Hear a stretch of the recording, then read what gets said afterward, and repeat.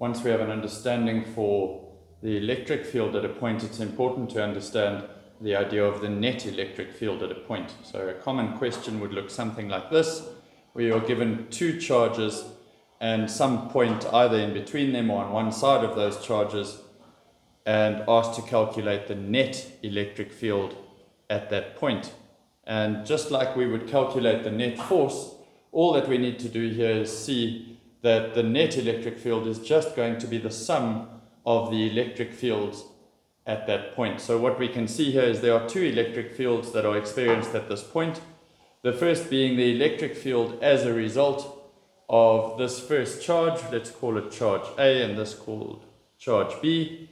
And as we can see, if we were to place a positive charge at this point, we would see that the electric field as a result of charge A would be towards the left.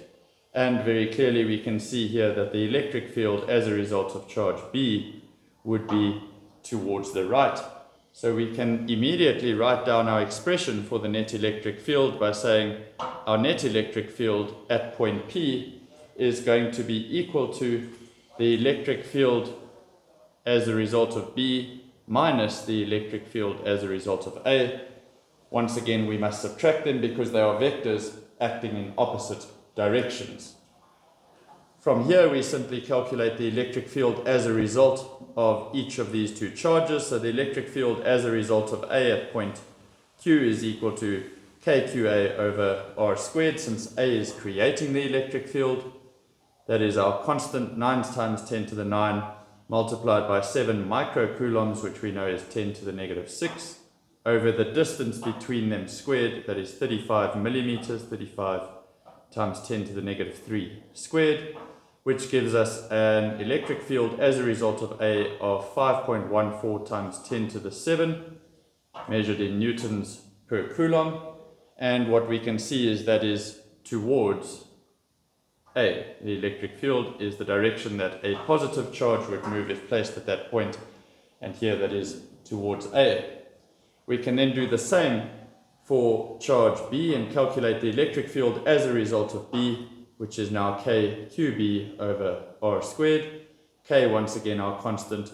The charge on B given as 3 microcoulombs, micro being 10 to the minus 6.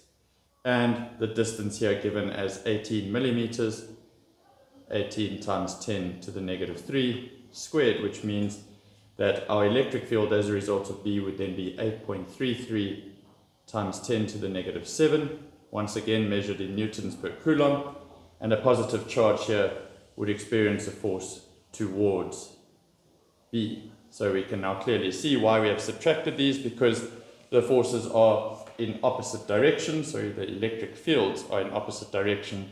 And we can now calculate our net electric field as 8.33 times 10 to the 7, apologies, that is times 10 to the 7, 8.33 times 10 to the 7 minus 5.14 times 10 to the 7, which gives us a net electric field of 3.19 times 10 to the 7 newtons per coulomb.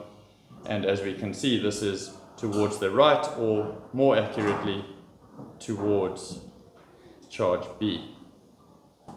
So once again, your free body diagram, very important here, where you're identifying the direction of each electric field so you can very easily write an expression for your net electric field.